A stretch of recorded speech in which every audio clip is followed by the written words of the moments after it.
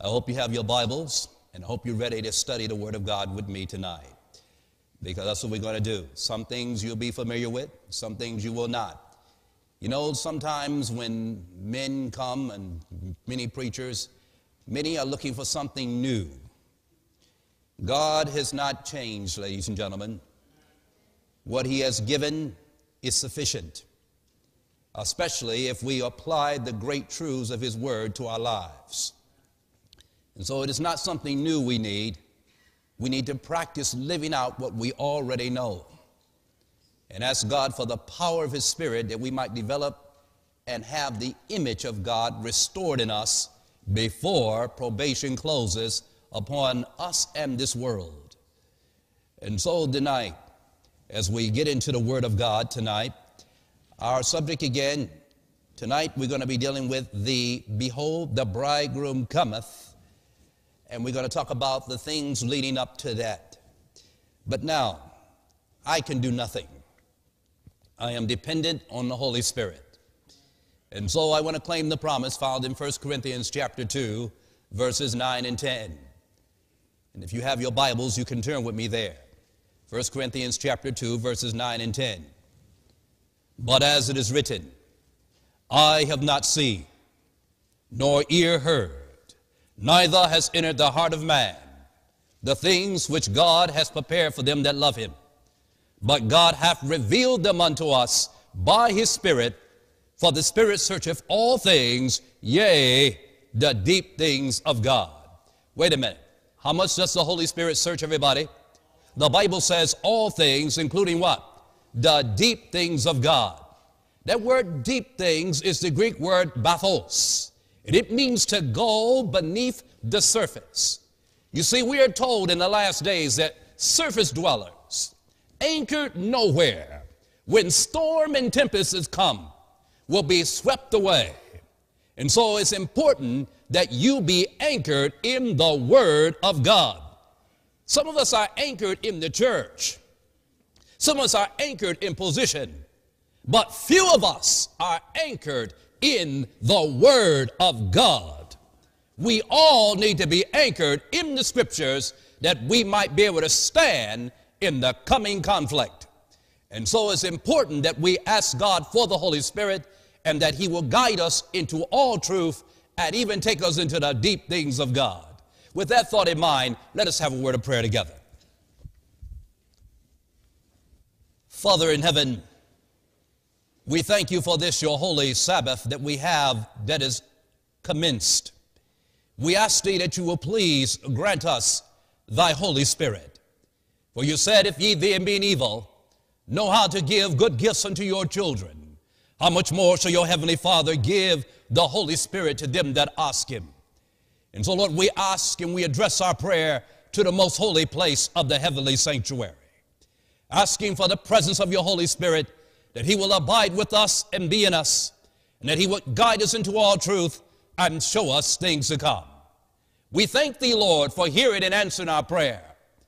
And we ask now that your will be done, and that Jesus be uplifted and your word be uplifted. For thou hast magnified thy word above all thy name. We ask this in Jesus' name and for his sake. Amen. I'd like for you to turn with me in your Bibles for just a moment, but before we do, I want to show you something that just happened about a week ago. You know, we've been watching storms and tempests, and we've been watching some things, but I want to show you a clip. And I wanted, uh, some of you saw this clip on the CNN News, but I want to just bring, I just want to remind you of something to let you know as we get into our subject Behold, the bridegroom cometh. Now, I want to show you this clip that took place, and you know where it took place in Paris. And I want to just remind you of some things. Okay?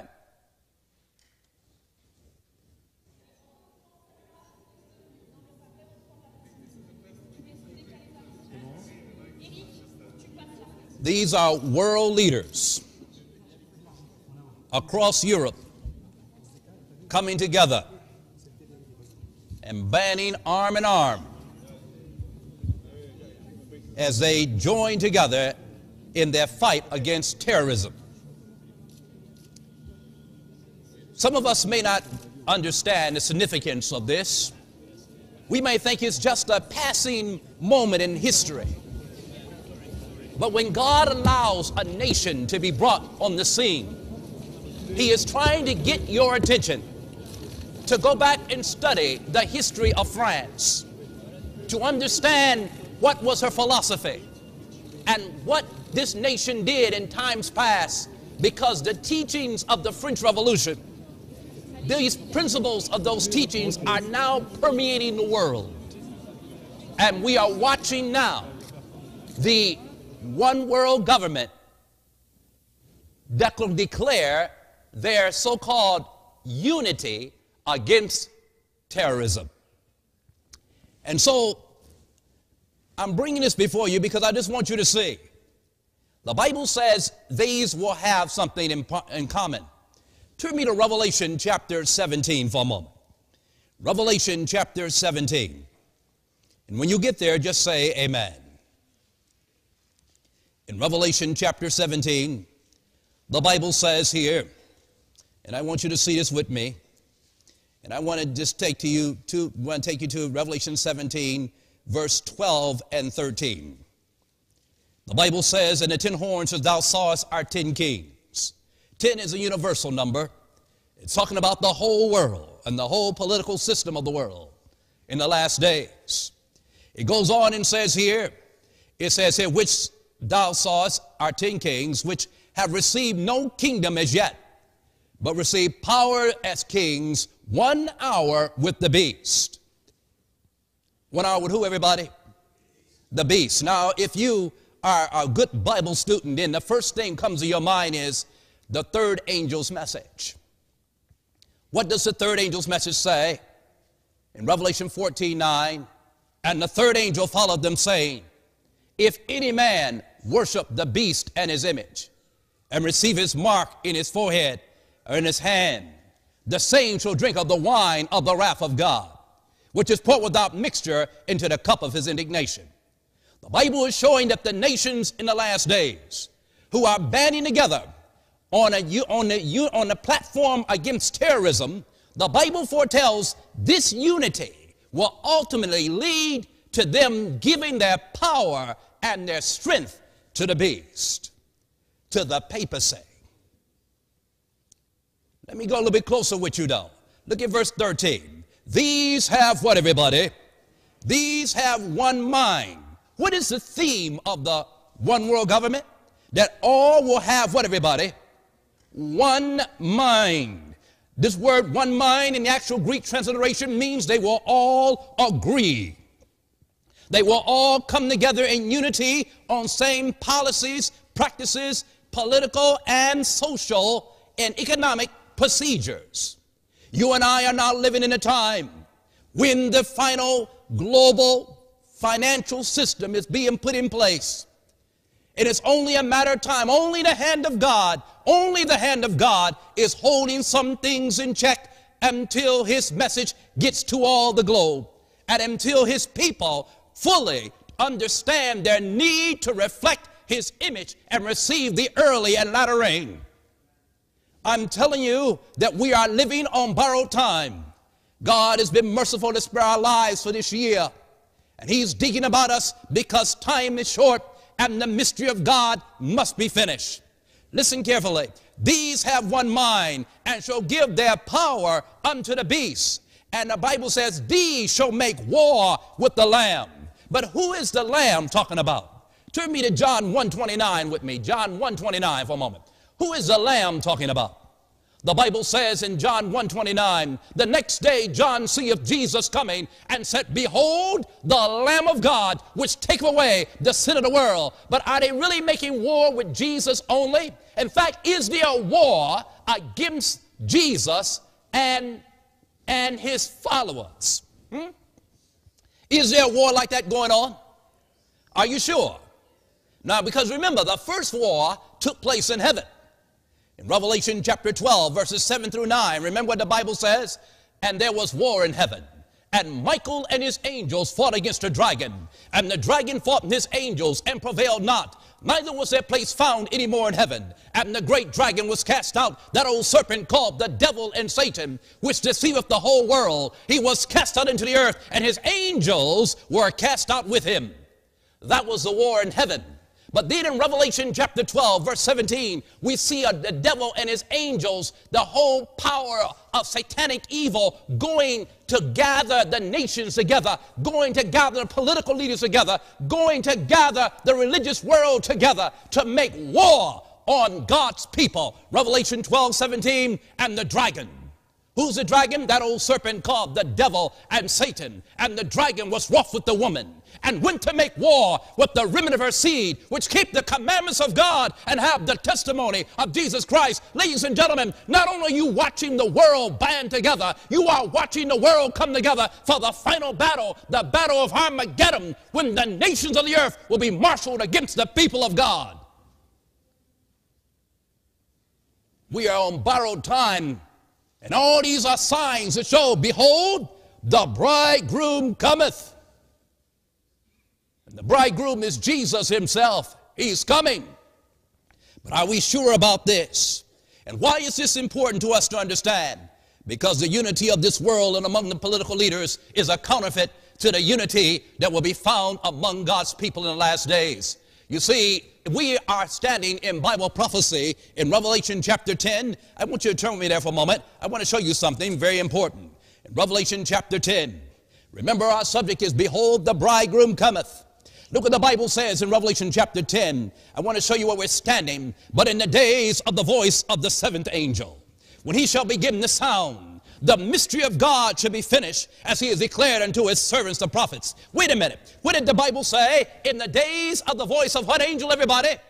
The seventh angel. This seventh angel is the angel of the seventh trumpet and of the third woe. Ladies and gentlemen, we've been in the seventh trumpet since 1844. We are entering the third woe period as we talk and we are watching the Middle East situation taking place around us, and we are walking around indolent as though we don't understand what these things mean. God has given us a message, God has given us prophecy, and God has given us a sure word of prophecy that we do not speculate nor do we guess when we understand that history is being repeated and we're watching worldwide events that's leading to the coming of Jesus Christ and the close of probation and an end to sin, death, war, and suffering.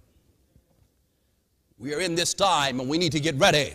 Look what the Bible says here. In the days of the voice of the seventh angel, we shall begin to sound. What's going to be finished, everybody? The mystery of God. What is the mystery of God? You see, the mystery of God has to do with gathering. The one world government has to do with something with gathering. What do you mean that there's something about gathering? Look what the Bible says here in Revelation chapter 16. You saw the nations of France come together. But what spirit led them? Remember when we last week you might have saw in the news that they were they were gathering against these terrorists who claimed that they were uh, against a newspaper who wrote about Charlie Hebdo. Hebdo, something like that. Charlie Hebdo. But now I want to ask you a question. First of all, they were attacking the right of free speech. Do you know that free speech boards liberty of conscience? You understand that, don't you? And, and you understand that when free speech was first given, it was based on a sense of morality. Because liberty of conscience was based on morality, based on the teachings of God's Word. Especially during the dark ages when the papacy had suppressed the scriptures. Now, why is this important? Because you watch this newspaper and these people unmercifully be slaughtered. And it was all on the television. And then you saw the nations coming together. And everybody thought it's a good thing. But, ladies and gentlemen, what spirit is behind this unity? Is it the Spirit of God? Some, even some Christians said this is a God trying to bring the world together. But what's this, what did the Bible say? In Revelation chapter 16, verse 13, I want to show you a gathering period. Look what the Bible says here in Revelation chapter 16, verse 13. Are you there? The Bible says in Revelation chapter 16, verse 13, And I saw three unclean spirits like frogs come out the mouth of the dragon, and out the mouth of the beast, and out the mouth of the false prophet. The dragon represents the devil. The, the, the Bible shows very clear for the devil, and you can also say spiritualism. You can also put behind that secular humanism, socialism, communism. You can put all those isms almost, except for Adventism, behind that one. Are you with me now? And the beast deals with the issue of the papacy. And the false prophet is apostate Protestantism that will forsake God's law. And because they are forsaking God's law, they are without chart and compass. And they are willing to make concessions to join with Rome and then join with the rest of the world in the last days. And the Bible said they're what type of spirits? Unclean spirits, spirits of devils. Look what the Bible says here. And it says here, for they are spirits of devils doing what, everybody? Do what the Bible say? Doing what? working what? Miracles, which go forth unto the kings of the earth and to the whole world to do what? To gather them. To do what, everybody? To gather them. But to gather them where? Look what the Bible says in verse 17. I mean, verse, uh, going back further down, verse 16. The Bible said, and he gathered them. How? What did, what did he say? He gathered them into a place called in the Hebrew tongue Armageddon. We are in a gathering time. The world is becoming one. And let me say this to you. If the world can come become one in a false unity, soon they will also speak peace and safety.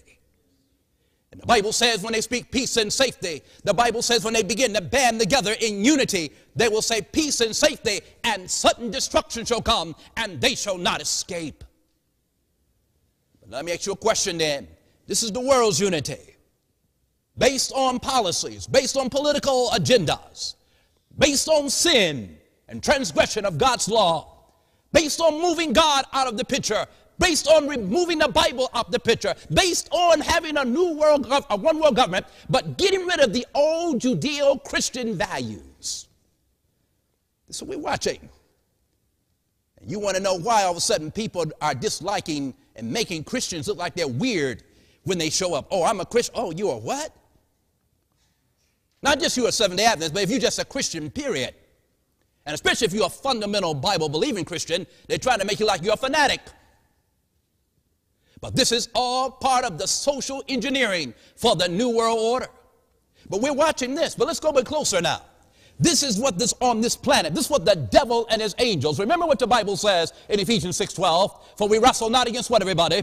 Flesh and blood, but against what? principalities and against powers, against the rulers of the darkness of this world, against spiritual wickedness. Where? In high places. And so, wait a minute. The question is now, in the midst of this, what is God's purpose? Revelation 14, 6. Turn with me there. I want to show you. Revelation 14, 6. And I saw another angel fly in the midst of heaven having the everlasting gospel to preach unto them that dwell on the earth, to every nation and kindred and tongue and people. Saying with a loud voice, Fear God, give glory to him, for the hour of his judgment is come. Worship him that made heaven and earth, the sea, and the fountains of waters. This is under the first angel's message. Now, notice what the Bible says under this first angel's message, which is connected to the, which is the everlasting gospel. What is the purpose of the everlasting gospel? Look what the Bible says in Second Thessalonians chapter 2, verse 14. Second Thessalonians chapter 2, verse 14. Look what the Bible says with me. Are you there? The Bible says in Second Thessalonians chapter 2, verse 14, whereunto what, everybody? He called you by our what? Our gospel. For what purpose did he call you? For what purpose did Jesus call you out of darkness into marvelous light? That you might just come to church and listen to music that you might come to church and seek a position. That You might come to church to hear your favorite preacher. That you might come to church to, to, to sit in a certain pew, place in the pew. Is that the reason why Jesus brought you into this faith? The answer is no. Because if there's no music playing, if there's no great preacher sounding, if there is no great position for you to take, there's one thing that you need to understand and understand it well. Though I may never hold a position in the church, though I may not excel like I would do it on some job or some corporate standard, I have one standard to meet, and that is forgetting those things which are behind and reaching forth for those things which are before, I press towards the mark for the prize of the high calling of God in Christ Jesus. What is that high calling? The development of his glory or his character, ladies and gentlemen.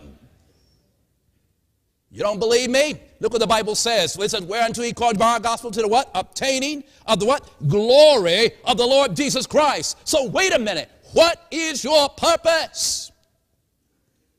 To obtain to the glory, to the character of the Lord Jesus Christ. Question Time is almost up. Do you reflect the image of God yet? No one can answer that question for you but yourself.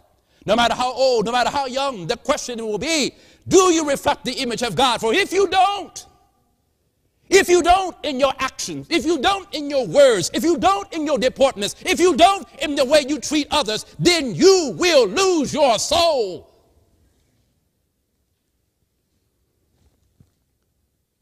God is not taking hypocrites to heaven. God is not taking worldly people who love this present world more than they love Him to heaven. You would never enjoy heaven. You'll be on the streets of gold seeking how you can get you an antenna or make you a, a, a, an immortal television. God is not taking you if you don't want to really go there. Some of you want to go there with your words, but you don't want to go there in your actions. You don't want to go there in your thoughts. You don't want to go there in your lifestyle. You want this world and the world to come. You want your cake and your ice cream. You're going to have to let one go for the other. You're going to have to deny yourself and ask God to help you die to self and sin that you might be prepared for his coming. It's time. The, behold, the bridegroom cometh. Go ye out to meet him. You still don't believe me? While we're sitting here talking about this, now I ask you a question. I want to ask you one question. How many souls did you win last year? How many people did you bring to Jesus last year? How many people did you give Bible studies to last year? How many people did you just write up in a Bible study last year? How many people did you witness to last year? Behold, the bridegroom cometh. The signs all around you. How many tracts did you pass out last year? How much medical missionary work did you do last year? I'm asking you questions because I'm asking you, are you preparing for the coming of Jesus? Are you longing for the coming of Christ? Or are you dreading every day that go by? Dreading because you're not ready. Dreading because you love this present world. Dreading because you don't want to overcome sin. Dreading believing that sin will soon, uh, you can't just let this little one or this secret one go. So you're hoping that somehow, some way, that even if you die, God will have mercy and save you anyway. You are being presumptuous. The Bible says in Proverbs uh, 28 13, He that covereth sin shall not prosper, but whosoever confess and forsaketh his sin shall have mercy. We're not going to be saved in sin, and if you believe that new theology fallacy, then you're going to go to hell with the rest of them that's teaching it. The plan of salvation calls for deliverance from sin. And that means that deliverance is possible through Christ then victory over sin is possible as well. And it's not something to be politically correct, be political about. Well, you know, I don't want to teach that because the people get too uh, the people get too upset with me. They don't want to shake my hand. Then I'm not popular if I talk like that. I'm not worried about popularity. I'm worried about one thing. I don't want your blood. I don't want your souls on my hands. Why is that important to us? Because the Bible says in Ephesians chapter 6, turn me to Ephesians chapter 1.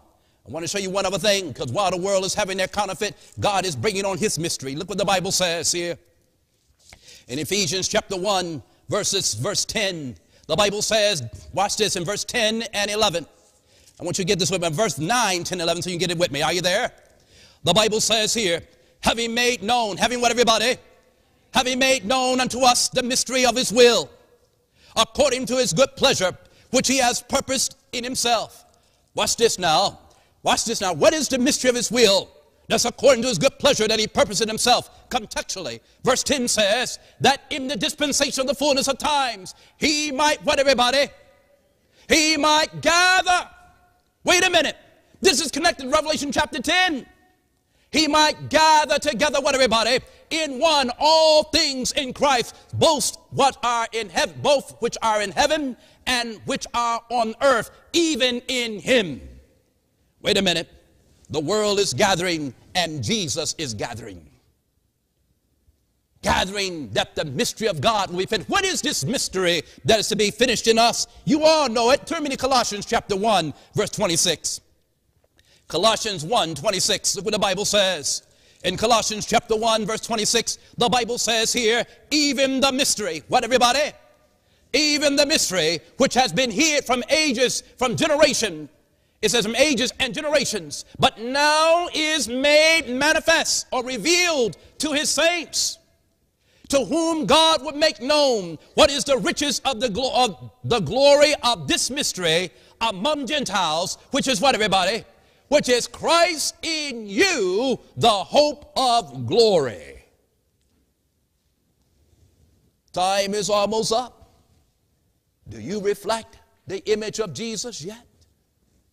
The mystery of God is the gathering. But where is God gathering us? Where is He gathering us? You see, because if we're going to be wise virgins, we better have, we better understand some things. The gathering is taking place in a particular place. Turn me in your Bibles for a moment and let's see this with me now, okay? Turn me in your Bibles and I want you to look at this text with me found over in, I want to look at um, actually where God is gathering us. And I want you to see this with me. Turn me in your Bibles for a moment to Hebrews chapter 8. Let's look at verse 1 and 2.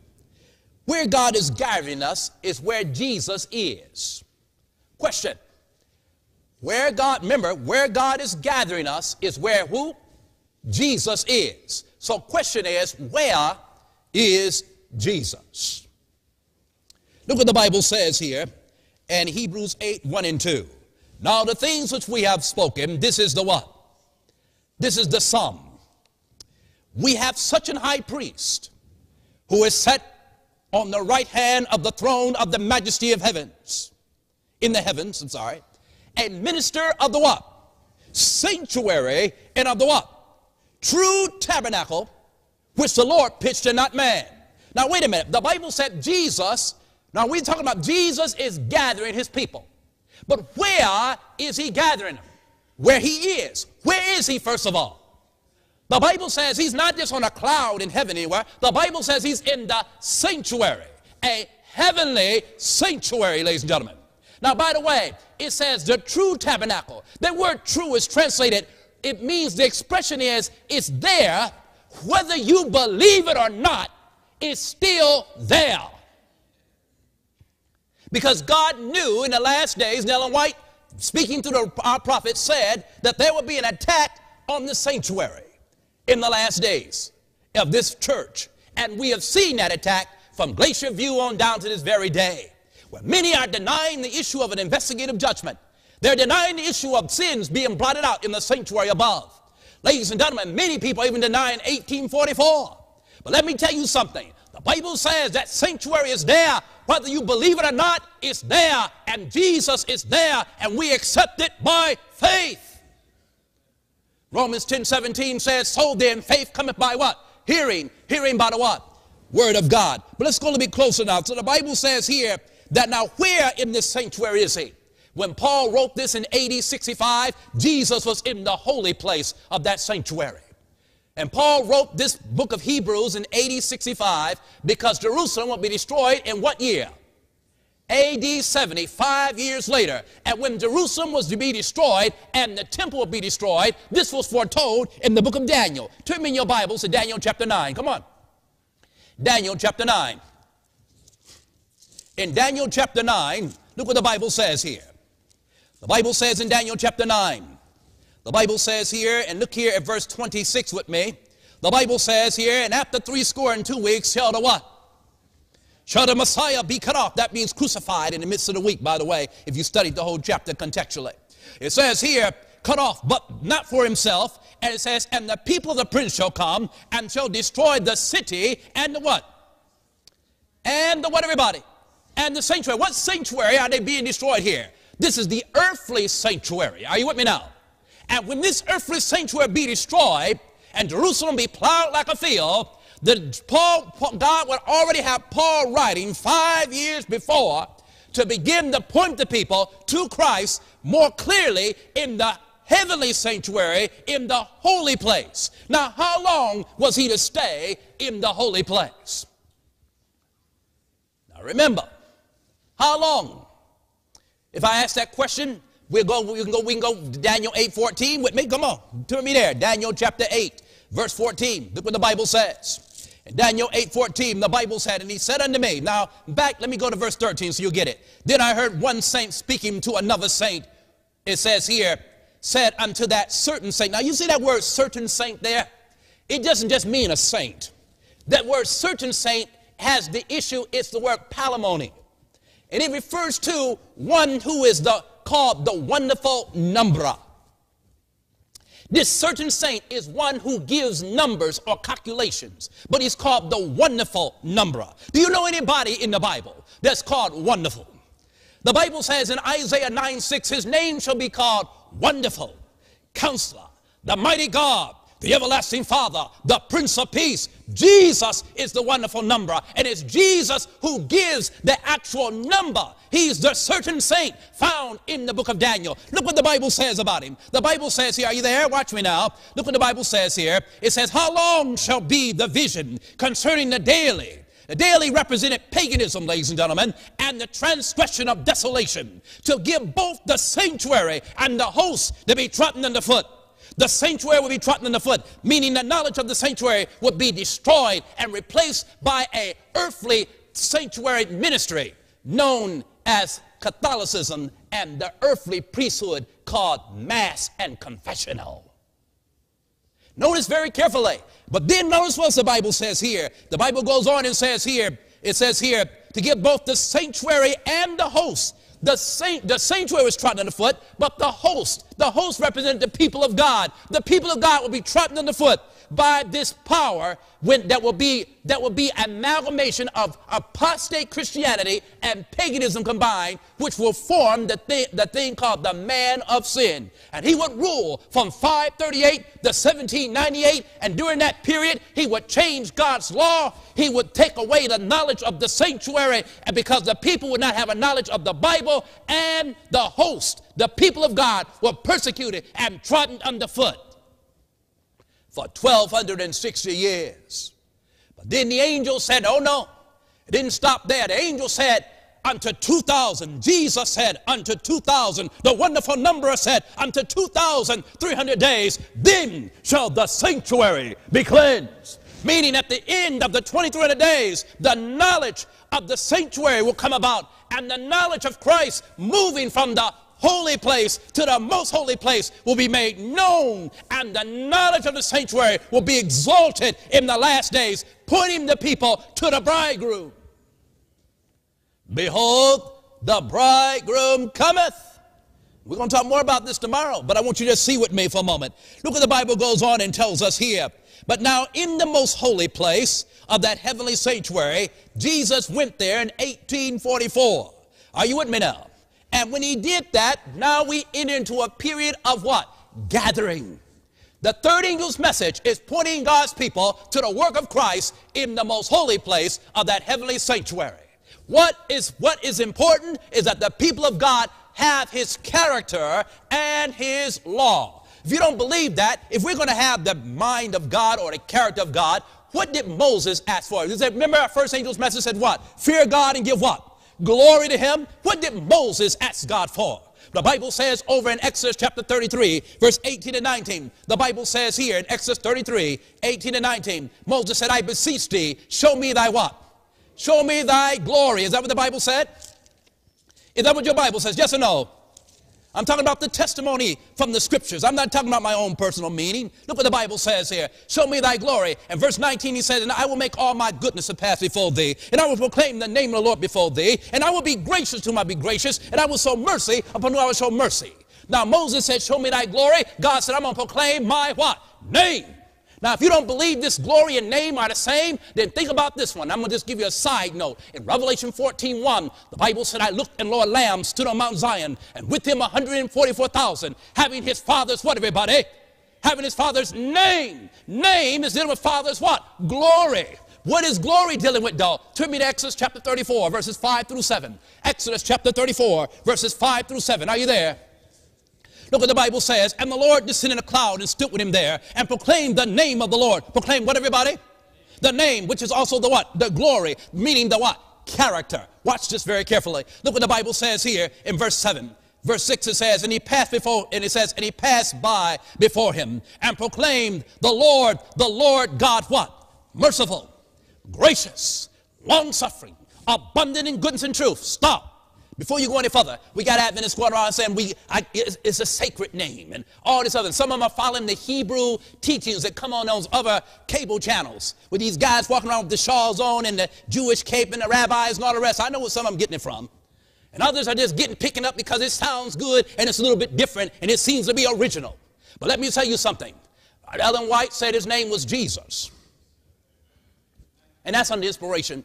The Bible says Jesus. Now, not, i understand Yeshua, I understand Jehovah Jireh, I understand all that. But it's simple. His name is Jesus. And the Bible says there is no other name under heaven whereby you must be saved. Now, why am I talking about that for a moment? Because the Bible says here that name means more than title. Name stands for character. Look what it said. The Lord God what? Merciful. But put that love merciful, gracious, long suffering, abundant in goodness and truth. Therefore, the 144,000 that will stand on Mount Zion, that stand in the presence of God, not being consumed because they have victory over sin and they have glorious immortal bodies and they reflect the character or the name of Christ. Why are they standing there like that? What happened, ladies and gentlemen? What happened to these people, brothers and sisters? They followed Christ in the plan of salvation. They accepted the, the, merits of Jesus that was paid on the cross of Calvary for them. They cooperated with the Holy Ghost in the development of their characters.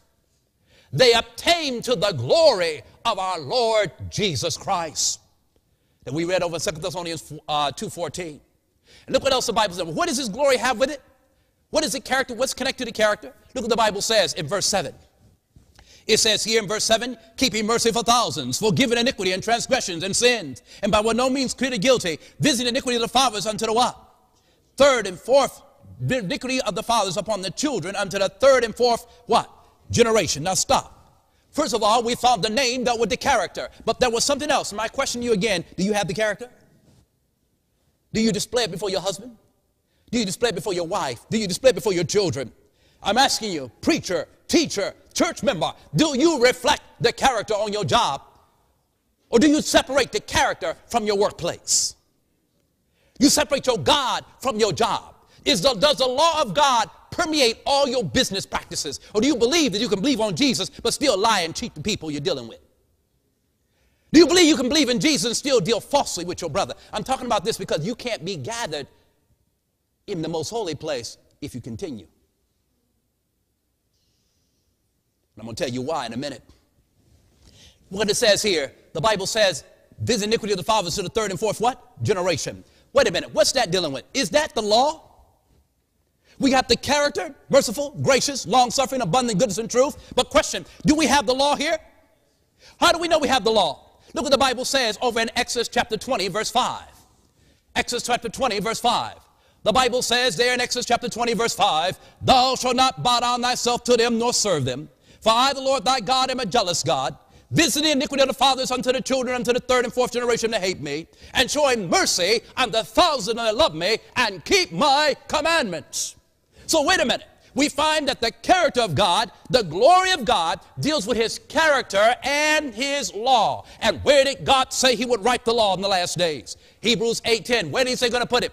And this is the covenant thou make with the house of Israel after those days, said the Lord. I'll put my laws in their minds and write them in their hearts, and I will be to them a God, and they shall be to me a people. God said he will write his law and put it where? In our hearts, in our minds. If the law of God is in your mind, you can't cheat your neighbor. If the law of love, which is the foundation of his government and throne, is in your heart, you will not be a legalist. You will not be looking at every, every, every mistake that a church member makes. If the law of love, the foundation of his government and throne, the self denying, self sacrificing love is in your heart, you will work to do what you can to help your neighbor. And you will even help those in the church. And those that mistreat you, you will go home and you will pray for those that despitefully misuse you and abuse you in the church. If the law of God is in your heart, you won't cheat on your husband. If the law of God is in your heart, the law of love, the law of self sacrificing love is in the heart, you won't cheat on your wife.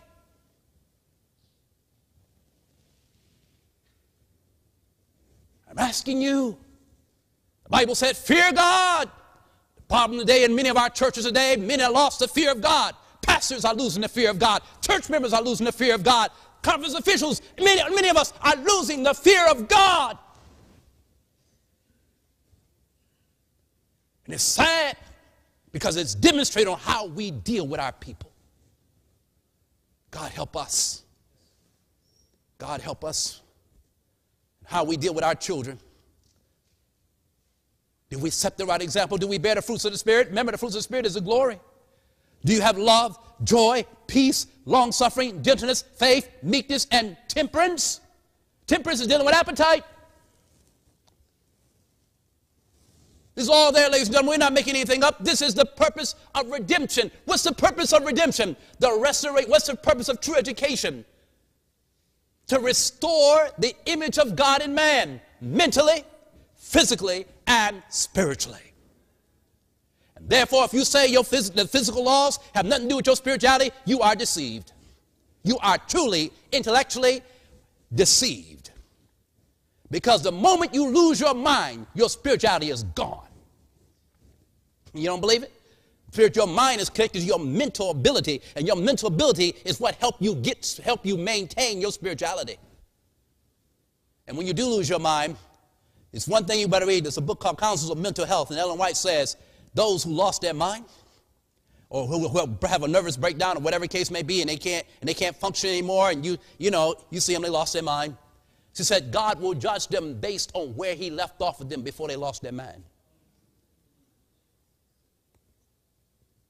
Because I wanted to make sure you understand. Now, look what the Bible goes on and tells us here. And so we find that the glory of God is dealing with His law, His character, and His law, which make up His what? Name. And in that law is the seal of God. And the seal deals with the what? Sabbath. Seal is dealing with character and the commandments of God, especially though the Sabbath. Are you with me now? But look what the Bible goes on and say. Now, why is that important? Because Christ entered the most holy place in 1844. And question is simply this. We're in a time, I told you again, we're in a time of a gathering. Look what the Bible says in Zephaniah chapter 2, verse 1. In Zephaniah chapter 2, verse 1. I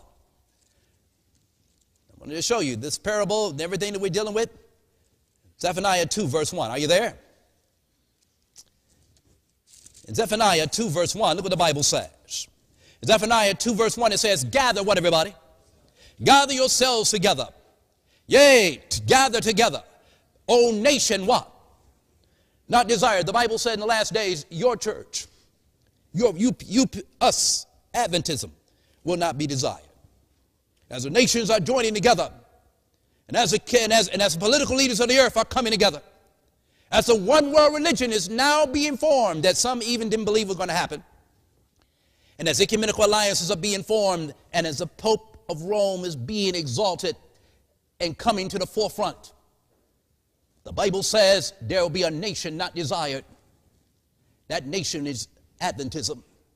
Those who love God and keep his commandments and have the testimony of Jesus Christ. The Bible said you will not be desired in the last days. And the Bible said because that you need to be gathering. But where should you be gathering? Should you be gathering just in church only? Where should you be gathering by faith? You should be gathering in the most holy place of that heavenly sanctuary. How do you mean? What do you mean? What do you mean, Pastor? Let's go a little bit closer and you'll see what I'm talking about here for a moment. You'll see exactly what I'm talking about. Because in that most holy place was what? The Ark of the what, everybody? Of the covenant. What did the Ark of the covenant have in it? It had the what? The law of God in. Is that right? Is that right, everybody? And so, therefore, now, by the way, the word ark means a chest. And we know, but in that chest was God's Ten Commandments. The Bible talks about this because we're heading for a time of trouble. What you're watching with the French gathering together and marching, in addition the issues that you're seeing taking place around the world, you're watching the gathering taking place. And the issue is, where are you being gathered? Are you being gathered with this present world and headed for the wide road of destruction? Or are you being gathered on the narrow way that leads to the most holy place of the heavenly sanctuary, which was the great light that was path that, that Ellen White saw in vision that was shining on the Adventist pathway? What, light, what path are you being gathered on? Where's your family being gathered on? Where are your children being gathered on? Have you educated your children for the world to be gathered on a wide road of destruction? Or have you educated your children to be gathered on a narrow path that leads straight to the kingdom of God? Where are you being gathered? That's why I'm asking this question. Look what the Bible says here. We find that they're being gathered into the most holy place of the heavenly sanctuary. But now, why is this important? In Psalms 27 5, turn me there. Psalms 27 5. Are you there? Psalms 27 5. Look what the Bible says. In Psalms 27 5, the Bible says here, it says, I want you to just notice something very carefully with me now. Watch this. And I'm going to start with verse 5, and I'm going to go on down to verse uh, seven, 6. The Bible says here, verse 5, it says here, For in the what, everybody? In a time of trouble, in a time of trouble, he shall what? He shall hide me in his what? Pavilion in the secret place of his what, everybody? In the secret place of his what? Tabernacle. Now, what's the word for tabernacle? Temple or sanctuary. Where is God going to hide you in the time of trouble? In the sanctuary. But wait a minute. Look what the Bible says here. Notice what else the Bible says here. In tabernacle, he shall hide me he shall set me upon a what? Who's the rock? Jesus is the rock. Look what the Bible says here in 1 Corinthians chapter 10, verse 4. Look what the Bible says in 1 Corinthians chapter 10, verse 4. Are you there? In 1 Corinthians chapter 10, verse 4, the Bible tells us about that rock, right quick, so you can get the picture. Are you there now? In 1 Corinthians chapter 10, looking at here, verse 4, the Bible says here, it says here, it says, indeed, drink of that same spiritual drink, for they drink of that, what everybody? That spiritual rock. So he's hiding you on what type of rock? A little rock? No, a spiritual rock. This said that spiritual rock, it says here, it says that followed them, and that rock was who? Christ. So the Bible said, now by the way, is Christ in the tabernacle? So, and for you to be hid, you must first be set upon a what? A rock. So you must have Christ, but what must you have of Christ? You must have his righteousness.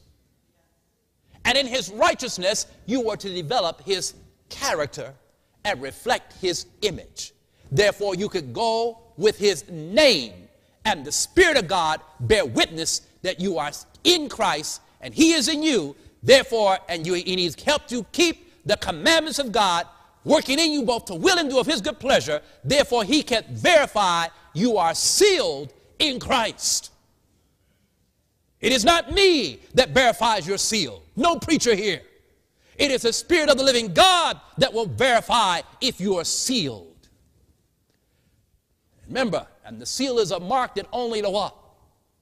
Only the angels can read. Do you have that mark? Are you striving for it? I'm asking the question Look what the Bible goes on and tells us here. The Bible says here, because in that ark is God's law, and God's law must be in our hearts, and the Spirit of God must bear witness that He has been able to write the law and empower the human agent with the power to keep the law and live a life of victory over sin and become even sinless in his mind and actions. You can't be sinless in the, the flesh fully because the flesh is sin. But you can be sinless in thought and action. Hmm. Yes? Oh, yeah.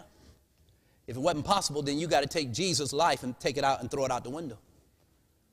Because the Bible said he knew no what? Though he was in a fallen human nature with a regenerated mind. Because he was led and under the power of the Holy Spirit. Was he or was he not? And the Bible said he did not take on the nature of angels, but man. He was of the seed of who? Abraham. Is Abraham before the fall or is Abraham after the fall? After the fall, ladies and gentlemen. But Christ did not have the propensities or the bent to sin. He never yielded to it in thought or habit. Make it plain so you get a picture. Look what the Bible says here. So the Bible said God is gathering us in where? The most holy place of that what? Sanctuary. Why? Because our time is almost up. And the third angel's message is calling for God's people to develop character. If, you, if there's nothing else you get this year, if you lose your job, you better develop character. If you lose your house, you better develop character. If you lose your wife, you better have Christ's character. If you have if you lose your husband, you better have Christ's character. There is nothing else more important than you cooperating with God for the development of your character, that the image of God may be restored, and that the Spirit of God can bear witness that you are in Christ and He is in you. Because if He's really in you, the hope of glory, then your next step will be you be a soul winner. If Christ is in you, the hope of glory, you will not be content sitting in the church week after week doing nothing. You will not be content just listening to sermons and being convicted and going home. You will not be content sitting there watching television or watching every movie that comes on your, on, on, your, on, on your network. If you are really in Christ, you will not be content. You will only be content as you work for others because your true joy is not in material things. Your true joy is not in gadgets. Your true joy is not in Apple and Microsoft uh, uh, uh, programming. Your true joy as a Christian is the desire to work for others and to give yourself in service to others. That is the true joy of a Christian. You say, What do you mean? Look, if you got the love of Jesus in your heart and you want to finish the mystery of God, then you're going to go and do missionary work. You're going to go out there you're going to start knocking on doors. You're going to pass out tracts. You're going to do outreach. Did you hear what I said? You are not going to keep this message to yourself. You're going to do all you can to finish the mystery of God and help others come into a knowledge of the glory of the Lord Jesus Christ by seeing Christ in you. You say, What do you mean? What are you talking about? Listen, when I was a colporteur and when I still go out, let me tell you something. There are, the power of God is not in the preaching in the pulpit. If you think this is it, brother, you are sadly mistaken. This is only the icing on the cake. If you live only preaching the pulpit, then as an elder, you got a problem because you don't have a burden for souls. You got a burden to give people your thoughts and your intellectual achievement or your knowledge, but you don't have a burden to really work for the saving of another. Even if you have no accolade and even if you're not in front of a large audience. God is calling us into soul winning. And the time is now that we must work to finish the mystery of God. The days of the voice of the seventh angel when he shall be given the sound. What are you talking about? I remember working one day and I went in a house where I met some people that were Pentecostal. And I remember standing there, and while I was standing there and, and, in, in the house, and I canvassed a lady on a Bible reading for the home. And as I was canvassing this woman on Bible reading for the home, this lady got so excited. She said, Oh, I want to get this book. But all of a sudden she started speaking in an unknown tongue. And as she was speaking in unknown tongues, I said, Lord, what should I do? And she had a friend come over. And soon as the friend walked in the door and saw her speaking in unknown tongue, she started speaking in an unknown tongue. So both of them speaking in unknown tongues in front of me. And I said, Lord, what should I do? I started praying. And as I began to pray, the Holy Spirit said, Sing a song. I said, What? Holy Spirit said, Sing a song, sing amazing grace. And while they wasn't speaking in tongues, going up, up, up, and up, speaking like that, I start saying, Amazing grace, how sweet. The, all, all of a sudden they started going, up, up, up, amazing. And all, all of them started singing the song Amazing Grace and came out and speaking in an unknown tongue. And when they got finished, they, when we got through singing a song, I said, now that we got the amazing grace of God and the Spirit of God is now with us, Mrs. Jones, don't you like this book? She said, not only I like that book, I'm going to get that book. And then her friend said, well, you going to buy that book? I'm going to buy it too. And both of them bought the book, Bible Reading for the Home. What am I telling you? I'm talking about the power of God. I'm talking about the power of God. Because God's power is upon us. And I'm going to tell you one more story, and then I'm going to, then I'm, then I'm going to have my, my, make my appeal to you. Because I want you to understand that the mystery of God has to be finished. But it'll never be finished while you're content sitting in the church. It'll only be, it'll only be finished by you working with others. Working, having the burden for souls and service. I never forget one day I was in the field and I told my friend, and I shared this story before somewhere else, but I'm for you. I was with my friend. And I was with a friend of mine and we were working house to house. And one day, my friend told me, I told my friend, the Holy Spirit impressed me, we have to go to the hospital. He looked at me and said, What do you mean we got to go to the hospital? Berry, don't you know we have to get our goal? I said, No, I got to go to the hospital, and the Holy Spirit's telling me we got to go now. And he looked at me and said, Now, where are we going? What hospital are we going to? I said, I don't know. He said, You mean you, you're going to a hospital and you don't know where you're going? I said, Hold on a minute. And I, got, I went under a shade tree, a shady tree, and I started praying. I said, Lord, what hospital do you want me to go to? Holy Spirit said, Go to the hospital on the west side of town. And so I said, I got to go to the hospital on the west side of town. He said, All right. So he said, He looked at me, he said, What hospital? I said, Hold on. And I walked over and prayed, prayed over the tree again, and I prayed. I said, I got to go. And the Holy Spirit said, Go to Harper. I said, We got to go to Harper Hospital on the west side of town. And so he got in the car and we started driving. Then he started, and then my friend asked me again, he's another call point. He looked at me and said, Who are you going to see, Berry? I said, I don't know. He stopped the car. What? You going to the hospital on the other side of town? Harper Hospital? You don't know who you're going to see? I said, hold on. and I prayed again. And I prayed and I said, Lord, what, what, who am I going to see? And the Holy Spirit said to me, a young lady. And my friend looked at me like I lost my mind. I said, I'm going to the hospital. I'm going to see a young lady. And he said, all right. Cat looked at me very reluctantly. We got to the hospital. We got out the car. We drove, we, we walked into the door. We walked off the parking lot into the hospital information desk. And I walked up there and I said to the lady, I said, excuse me, ma'am, my name is Maurice Berry, and I'm a minister, and I'm here to see a young lady. They looked at me and she started laughing. She said, Mr. Berry, she said, there's a lot of young ladies here. Who do you have to see? I said, excuse me. I walked over to his side. I said, told my friend we need to pray. He said, okay. So we prayed. Then I prayed, and the Holy Spirit said, There's a young lady, her name is Johnson, and she's on the third floor. I walked back to the desk, and I said, I'm here to see a young lady named Johnson on the third floor. She said, Mr. Berry, there are a lot of Johnsons. I'm sorry if you don't have the first name, I can't let you up. She said, but since you so, but why are we doing this? By the time we're doing this, another lady came running through the hospital corridor. She signed her name on the desk as quick as she could. And then she jumped on the elevator. And we were still sitting there trying to figure out, wow, that lady's in a hurry. And then we looked around and we was thinking to ourselves, how are we going to get up? How we going to get up on the elevator? And the lady looked at me and she said, Mr. Berry, since you're so persistent, she said, listen, I'll let you go on the back service elevators and you get up on, you go where you need to go and hopefully you find who you're looking for. But I can't just give you a pass. But you, since you're, since you really are determined, so she let me go on the back service elevator. My friend looked at me reluctantly again, and he said to me, So who are we going to see? I said, I don't know yet. I said, I know we just go on the third floor. So we got out the elevator, and the Holy Spirit said, Don't go nowhere, stand right here. So I told my friend, I said, Look here, Paige, we have to stand right here. And he looked at me like, and I said, so, he said, why are we standing here? I said, because who are we going to see going to come around the corner? So a big family came around the corner. Is that them? I said, no.